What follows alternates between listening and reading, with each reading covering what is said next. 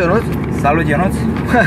Mulțumim frumos că ai acceptat invitația noastră Plăcere, plăcerea de să partea mea. ne prezinți un Subaru, un Subaru Impreza, nu? Da, impresia. VRX, STI, nu? STI-ul, da. Bun. Pentru cei care nu știu, haideți să le spunem puțin despre, despre mașină. Este practic o mașină de rally făcută pentru stradă, corect? Ceva de genul, da. Că ea de acolo este bine cunoscută mașina asta. Exact. Și din bătaia lor cu Mitsubishi Lancer Evo. Lensă, da. Bun, spune-ne, te rog, cum ai achiziționat mașina și ce te-a determinat să cumperi un Subaru Impreza? Că sunt destul de rare pe la noi. Da, Vezi în da. fiecare zi. Nu știu, până acum am fost cu bavarezele. Am mai BMW-uri. avut BMW-uri, da.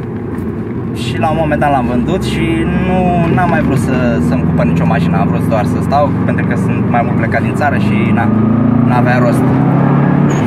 Și da, am fost la Brașov prin târgul de mașini să mă uit așa ca chestia, na. Că S-a sunt pasionat de rupt mașini, da. și am, am văzut mașina, tipul doar ce venise să o vândă, nici n-avea nimic a scris pe ea, că de vânzare, că Da, nimic. nici el nu era hotărât, cred că. Da, ceva de genul. Și la un moment dat am văzut că mă uite pe la mașină, pe la, na, mă învârteam pe acolo și zic, "Uh, e de vânzare? Zice, nu chiar, zice, nu chiar e de vânzare, dar vrei să dau o tură? Zic, da, îți dai seama, n-am mai, n-am mai încercat niciodată Subaru Impreza și mai ales japoneze. Și am mers cu el puțin în Brașov. În momentul în care a accelerat-o, zic, m-am îndrăgostit din start. Zic, Gata, gata, asta e asta e a mea." mea. Zic, zic, cât vrei? Păi stai că nu știu sigur dacă o vând, zic, îți dau acum cash cât vrei, spune Mi-a spus prețul și am și făcut târgul, deci a fost pur și simplu așa instant în aceea zi, la inter- interval de câteva ore Da, Deci n-am testat-o nimic, adică a fost dragoste Oricum, la genul ăsta de prima mașini, exact asta am zic, asta o cumperi instant, adică Da, e da. ceva de... O cumperi cu inima, cum se zice, Exact, și asta a fost acum un an de zile fix în știi? Mașina nu noiembrie. este stoc, Nu este stoc, nu n-ai cum să fie stoc să, să se audă așa și să, Exact, să ceva. tragă halul ăsta. C- Câți cai are, poți să le spui acum? A, undeva la 350 de cai De 5 de cai într-un motor de 2.5, nu? din 2.5 turbo, turbo da Ia stoc vine la 200, 280 280 de cai. 280 de cai, da Am înțeles. Cum e cu, cu mașina? Că bănesc cu ea de ceva timp, adică... De un an de zile, Ce am da. înțeles de la tine, te, descurci, te descurci destul de greu cu piesele. Cu piesele, da, sunt foarte rare de găsit De și găsit. nu sunt uh, nu sunt foarte mulți oameni competenți care să, să se bage, să schimbe. Da, înțelegi? știu, de obicei la japoneze e problema asta, mai întâlnit E și la mai- e ceilalți mai greu. proprietari. Au o problemă în achiziționa piese și a își în mână de lucru. Da, exact. Cam toți fug de ele, Fug de ele, dar nu se bagă. dar nu știu de ce. Eh. Că la noi tot un motor. Tot un motor, exact. Dar, uh, na, dacă, dacă îți bați puțin capul, poți să găsești prin alte orașe, numai în Constanța. Cel puțin eu îmi fac toate serviciurile, mă duc la București, am găsit pe cineva acolo uh, competent și na, pot lăsa mașina câteva zile, mă, mă întorc la Constanța și după 3-4 zile mă duc și o iau. Îmi place foarte mult și interiorul ăsta, așa scaunele, cum ai suportul ăsta lateral. Este Exact. exact cum am spus, o mașină de curse, practic. De curs, na. Ambreiajul văd că este modificat. Da, este ambreiaj ceramic, E foarte soare, e foarte scurt. scurt, foarte scurt, da. Și eu când l-am schimbat Și la, prima cutie, la săptămână... cutie este ceva modificat? La cutie nimic, cutia e stop. A, așa sunt ele, treptele scurte. Da, da, foarte scurt. Da, e prima oară când merg cu Subaru ăsta să te întreb, nu știu. Da, e mai ciudat prima oară când conduci, dar te obișnuiești, da, știi. Nu, merge foarte merge. merge. Mașina, stilul japonez, destul de simplă la interior, dar Da. în același timp nu lipsește nimic. Adică cam tot ce ai nevoie găsești Da, ai în ea. încălzire, ai tot Exact. ce trebuie. Da, n-am navigație, dar nici nu-mi trebuie, știi cum e. Da, la genul ăsta de mașini e puțin Nici mai nu- ciudat. Da. să ai navigație și alte chestii. Exact. Ce-mi place la inginerii japonezi care au montat eleronul ăsta pe spate este, tu practic în oglinda retrovizoare vezi exact pe sub el. Vezi exact pe sub el, da. Da, nu te incomodează cu absolut nimic. Nimic. La unele niciodată. mașini să știi că nu sunt create chiar așa. Da, da. Au un lunetă, dacă poți să o numești lunetă, care este cam atât. Sau Da, da, da. Nu poți să o numești lunetă pe aia. E un mic geam. Nimic. Asta n-ai treabă, e perfect. Nu, na, nu, chiar niciun stres. Vezi tot. Nu, Exact. Ce, nu te incomodează. ce e iar foarte important la ele față de o mașină, de celelalte mașini care apar acum, care vin noi din urmă, că ei au păstrat încă patru uși. 40, da. Încă poți să, poți să spui că stai în spate, că la alte mașini statul în spate e doar așa, teoretic. Da, da. Nu poți să încapi în spate. De exemplu, la, nu știu, la, hai să dăm un exemplu de mașină japonă, la GTR, de exemplu. Să stai în spate, nu prea zici că stai în spate. Da, da. Foarte Poate un distant. copil doar să stea în spate. Exact. Da. Și mașina asta știi cum e, de asta nu trebuie dacă ai prins iarna cu ea. E, n-are moarte pe zăpadă. N-are, nu, chiar, chiar iese după peste tot, adică oriunde, unde, unde Absolut, te faci oriunde, iese. da, da, da.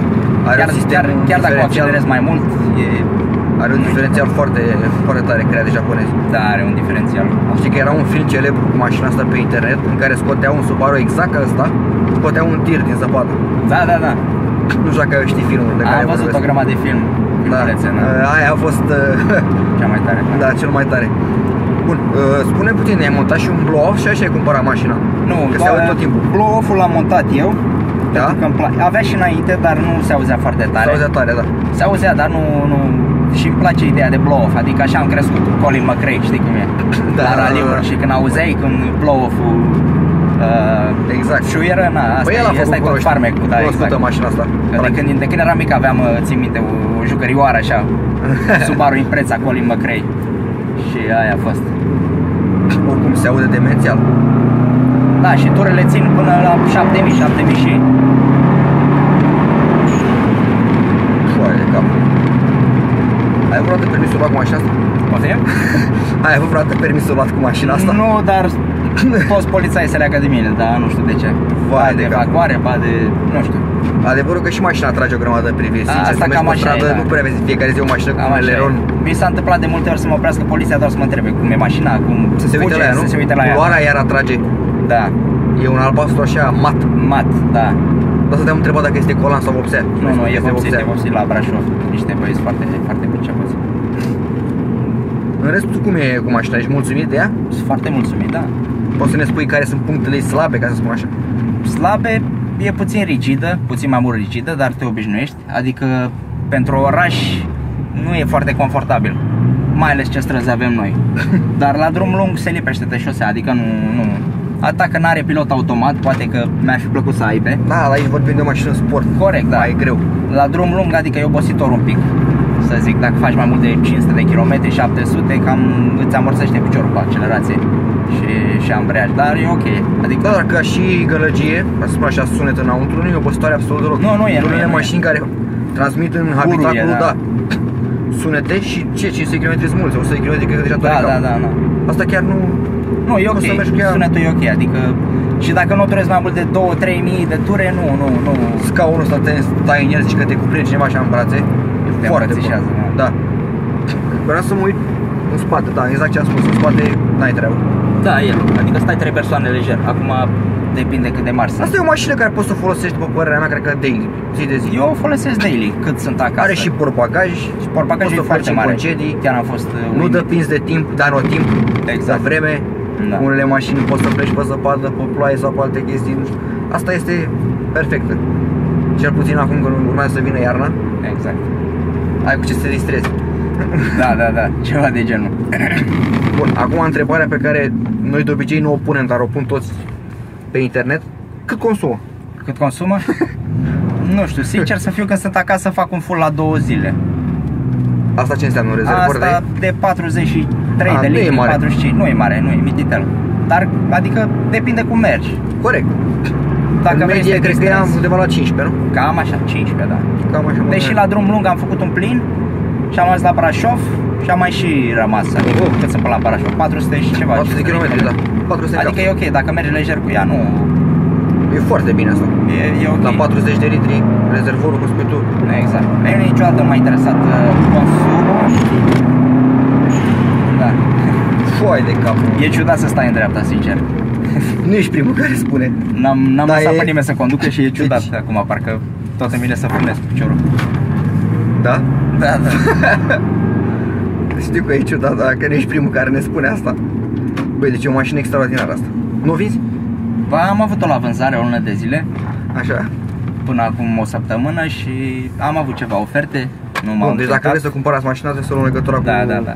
cu Ionuț. Luați legătura cu mine și facem un preț, ok. Și mașina este excepțională. Eu în locul tău n-aș vinde niciodată mașina asta, probabil. Mă mai gândesc, de asta am și scos-o. Mi-am- Mă gândesc să-mi iau a doua mașină și să renunț la ideea vinde-o și să Deci asta continui și să cu o- să o Lancerul, tunez. care am mai spus și în clipul cu Lancerul, sunt două dintre mașinile mele preferate. Da. Chiar e o mașină extraordinară, Subaru Impreza VRX. Cei drept n-am mers cu Lancer, dar și exact bănuiesc că e modelul același. ăsta, modelul acesta nou care l-au scos ei, sau penultimul, acela hatchback, Da, nu. nu îmi place absolut deloc. Mi se pare că au tăiat total din formă. Da, păi modelul ăsta e consacrat. Exact, rally, da, în tot. Da. Mulțumim frumos încă o dată, Ionut. Mulțumesc și eu. Până data viitoare vă spunem la revedere.